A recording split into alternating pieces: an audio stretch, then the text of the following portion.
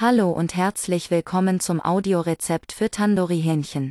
Tandoori-Hähnchen ist ein Rezept, das in der Verpackung eines Kräuterschnapses gefunden wurde.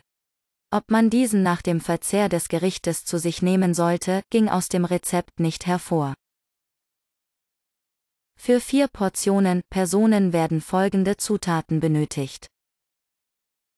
4 Hähnchenfilets a 150 Gramm, 4 Teelöffel Tandoori Masala Gewürzmischung. Salz, Pfeffer, edelsüßes Paprikapulver, 3 Zwiebeln, Knoblauchzehe, 20 Gramm frischer Ingwer oder ein halber Teelöffel Ingwerpulver, 2 Esslöffel Sesamöl, 200 Gramm Joghurt Natur, 100 Gramm Schmand oder Sahne, 150 Milliliter Geflügelbrühe, 2 Teelöffel Kurkuma, ein halber Teelöffel Rosenpaprika, ein halber Teelöffel Koriander, Folgende Utensilien werden benötigt. Küchenbrett und Kochmesser, Schüssel, hitzebeständige Pfanne mit hohem Rand, ersatzweise 1 Breter.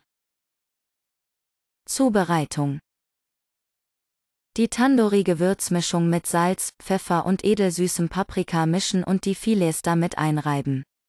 Die Filets etwa 10 Minuten zugedeckt ruhen lassen. Die Zwiebeln würfeln. Den frischen Ingwer fein hacken. Die Knoblauchzehe in feine Scheibchen schneiden. Das Öl in der Pfanne oder dem Breter erhitzen. Knoblauch, Ingwer und Zwiebeln darin andünsten. Den Joghurt, die Sahne, die Geflügelbrühe und die restlichen Gewürze zufügen und verrühren.